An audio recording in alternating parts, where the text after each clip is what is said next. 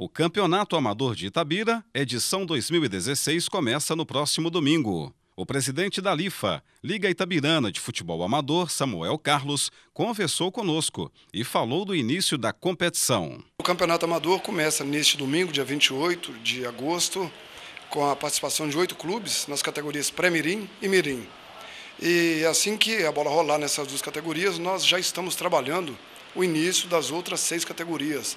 Lembrando que nós teremos oito categorias este ano no Campeonato Amador versão 2016, que são exatamente as duas que nós estamos iniciando, pré-mirim e mirim, mais o infantil, o juvenil, o júnior, o amador adulto, master e o cinquentão que nós estamos implementando esse ano.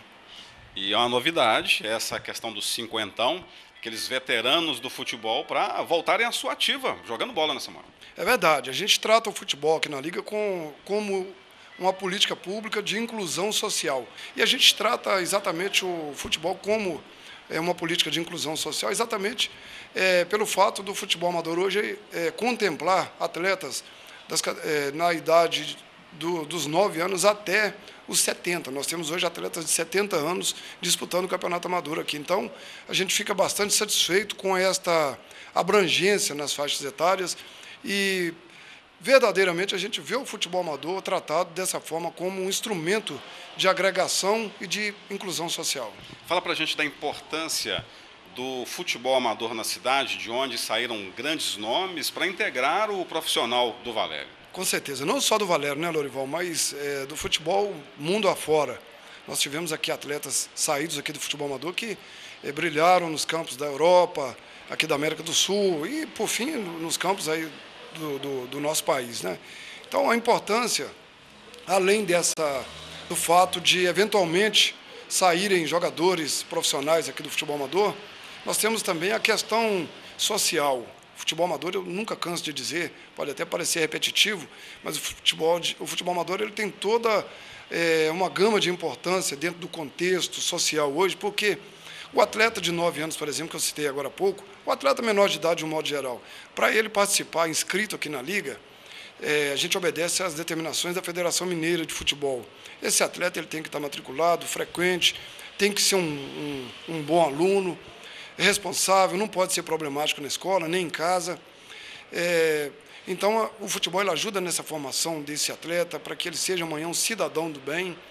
Nós temos também é, já comprovadamente uma redução no índice de criminalidade aqui na nossa cidade, toda vez que o campeonato amador está em, em curso. Então, o futebol amador ele passa pela educação, pela segurança pública, tem um lazer das famílias que vão a campo e depois da, do futebol sempre existe aquela possibilidade da família estender o dia no, através de um almoço no restaurante. Então, tem também a questão do lazer, tem a questão da economia que todos que vão a campo têm que abastecer o carro aos domingos no posto, no posto de combustíveis, tem aquele gasto nos comércios que estão próximos aos, próximos aos campos, tem as lojas de materiais esportivos que aumentam as vendas através aí dos artigos esportivos para os atletas, enfim. O futebol amador ele tem toda uma importância. Para aqueles que não gostam, acham que é gasto público, não é gasto, é um investimento. Próximo final de semana, então já começa e a gente acompanhando os jogos e você vai divulgar. Quem quiser saber mais, tem um site, como pode se informar sobre os jogos, Samuel? Olha, Lorival, nós, é, nós estamos recolocando o nosso site no ar.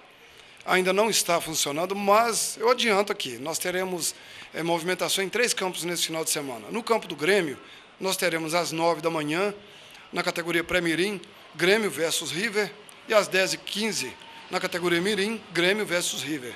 No campo do Ivipa, aqui na Vila Paciência, próximo ao Hospital Nossa Senhora das Dores, às nove da manhã, Ivipa versus Vila Nova, categoria Mirim, pré-Mirim. E na categoria Mirim, às 10h15, também o mesmo confronto Ivipa versus Vila Nova. E lá no Bela Camp, no, campo, no bairro do Campestre, nós teremos às 9 da manhã Campestre versus União e às 10h15 Campestre versus União é, categorias pré-mirim e mirim, respectivamente. Obrigado, Samuel. A gente que agradece pelo espaço e convidamos a todos a prestigiarem essa garotada e venham todos torcer pelos seus times.